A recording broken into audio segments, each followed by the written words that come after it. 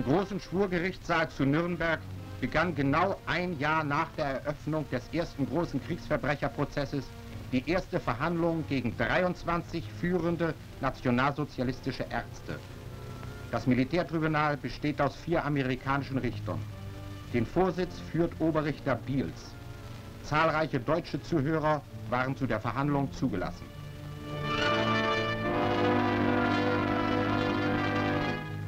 Der erste Tag war der Verlesung der Anklageschrift vorbehalten. Sie erfolgte durch den amerikanischen Hauptankläger General Telford Taylor. Karl Brandt, Siegfried Handlose,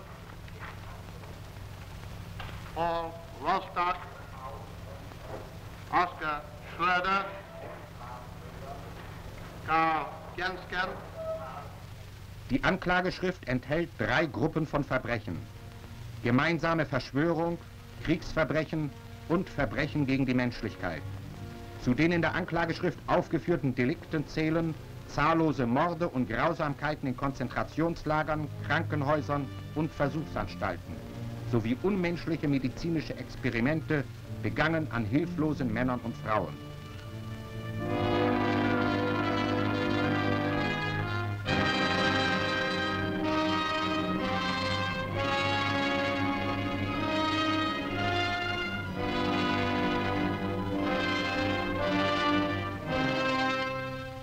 Jeder Angeklagte wird von Oberrichter Biels einzeln aufgerufen und gefragt, ob er sich schuldig oder nicht schuldig erklärt. Karl Brandt, der frühere Leibarzt Adolf Hitlers, Generalleutnant der Waffen-SS und Reichskommissar für das Sanitäts- und Gesundheitswesen. guilty or not guilty? Nicht schuldig. Der zweite Hauptangeklagte ist Siegfried Handloser, früherer Generaloberstabsarzt und Chef des Wehrmacht-Sanitätswesens. Alle 23 Angeklagten bezeichneten sich als nicht schuldig. Die einzige Frau unter den Angeklagten, Hertha Oberhauser, früher Ärztin im Frauen-KZ Ravensbrück. Nachdem alle Angeklagten ihre Erklärung abgegeben hatten, vertagte sich das Gericht für zwei Wochen.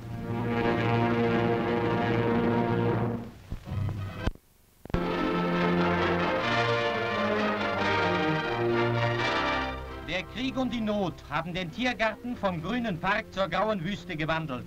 Doch der deprimierende Anblick der aufgewühlten, brachliegenden Riesenfläche verändert sich in diesen Tagen aufs Neue. Im Rahmen der Brachlandaktion des Berliner Magistrates wird auch der Tiergarten für den Gemüse- und Kartoffelanbau herangezogen. Englische Traktoren helfen bei der Bearbeitung des Bodens.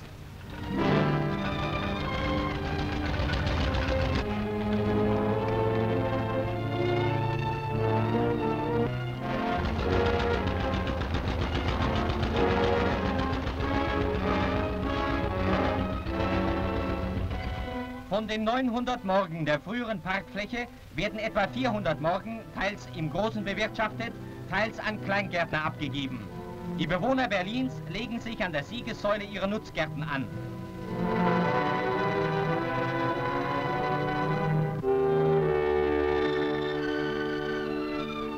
Der Tiergarten sorgte früher für die Erholung der Berliner. Jetzt wird er ihrer Ernährung dienen. In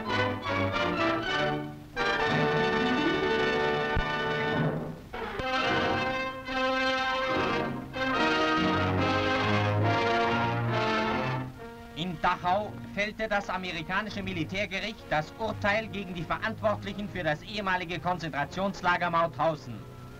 Von 61 Angeklagten wurden 58 zum Tode durch den Strang verurteilt.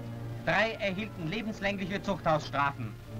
Jeder Angeklagte tritt einzeln vor und nimmt vom Vorsitzenden, General Prickett, den Urteilsspruch entgegen. The vote was taken concurring, sentences you to death by hanging at such time and place as higher authority may direct. Das Gericht in geschlossener Sitzung unter Zustimmung von mindestens zwei Dritteln der bei der Abstimmung anwesenden Mitglieder verurteilt sie zum Tode durch Erhängen. Zeit und Ort für die Vollstreckung werden von der höheren Militärbehörde bestimmt werden. Take a moment. The court in closed session, at least two-thirds of the members present at the time the vote was taken concurring, sentences you to death by hanging at such a time and place as higher authority may direct. Gericht in geschlossener Sitzung und unter Zustimmung von mindestens zwei Dritteln der bei der Abstimmung anwesenden Mitglieder verurteilt sie zum Tode durch Erhängen. Zeit und Ort für die Vollstreckung werden von der höheren Militärbehörde bestimmt werden. August I. Gruber, August Eigruber, der frühere Gauleiter von Oberdonau, einer der Hauptverantwortlichen für das Lager, in dem allein von 1942 bis zum Kriegsende 70.000 Menschen eines gewaltsamen Todes starben.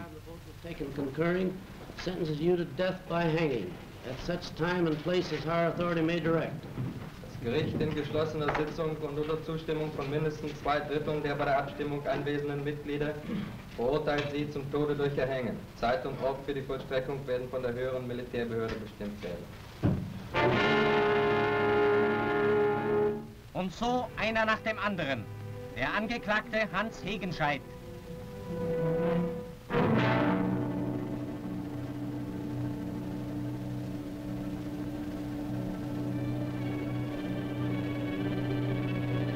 Der Angeklagte Kaspar Klimowitsch.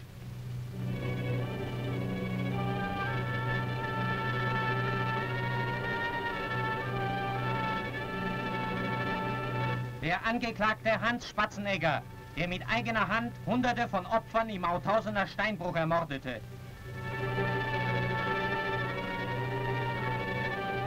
Der letzte der zum Tode verurteilten Verbrecher, Viktor Zoller, wird nach dem Rechtsspruch in den Zellenbunker zurückgebracht.